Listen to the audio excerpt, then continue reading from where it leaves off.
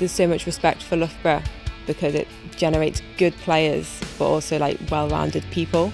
And I think being here for four years, I've really realised how much it's developed me as a person, not only as a badminton player.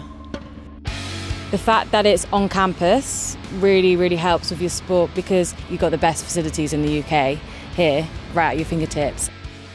So parasport is integrated through almost all of our offers at Loughborough. Of course, there are some sports where we need to have specialist provision for some para athletes. But overall, most of our programs are highly integrated so that you have disabled and non-disabled athletes able to train alongside each other.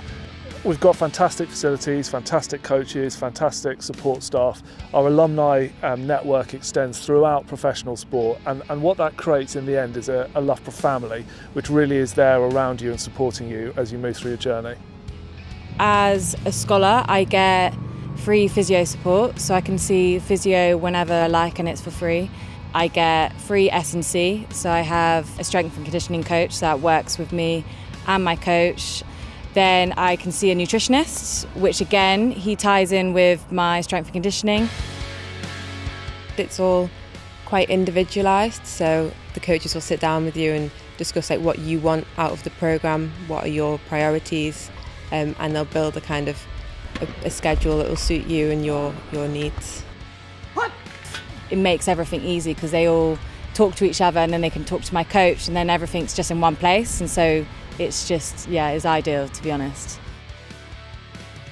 One of the things I'm proudest of is that the average marks of our performance athletes are higher than the university average almost every year.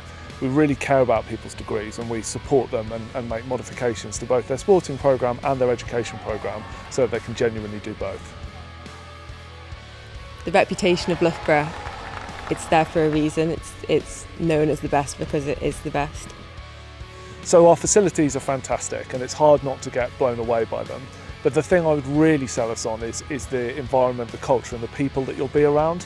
People genuinely trying to be the best they can be. We've got people competing internationally across all sorts of sports and you can't really fail but to be motivated and inspired by that.